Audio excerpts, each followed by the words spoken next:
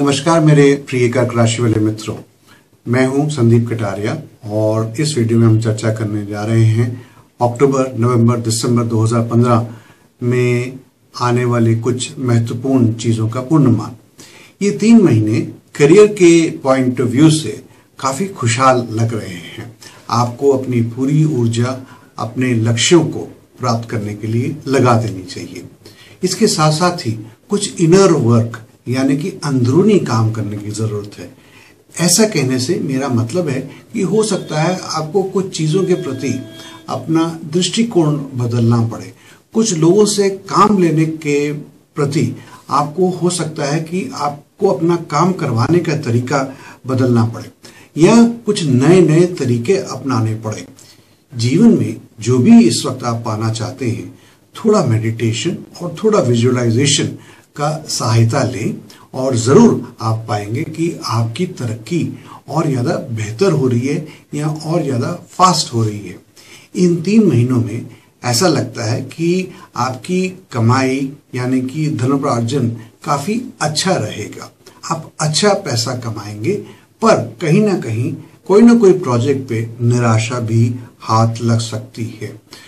खास करके नवंबर के महीनों में और दिसंबर में भी मेरी आपसे ये सलाह रहेगी कि बड़ी अच्छी तरह से बजटिंग करके फाइनेंशियल प्लानिंग करके ही आप आगे चले।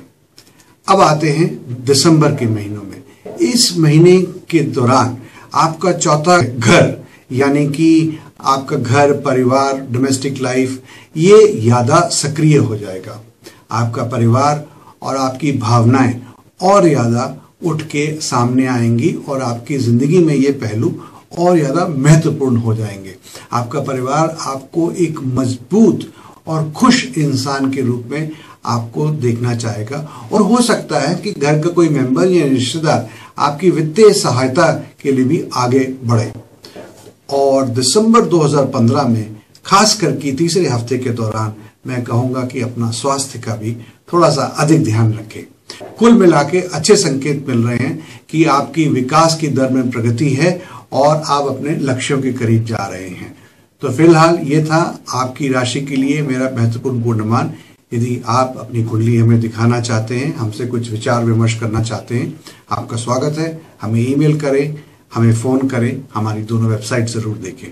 और अगर आपको यह वीडियो पसंद आया है तो ज़रूर हमारे चैनल को सब्सक्राइब करें, लाइक करें, शेयर करें। और इसके साथ ही मैं आपके लिए बहुत ही सुंदर और सुखी जीवन की कामना करता हूँ।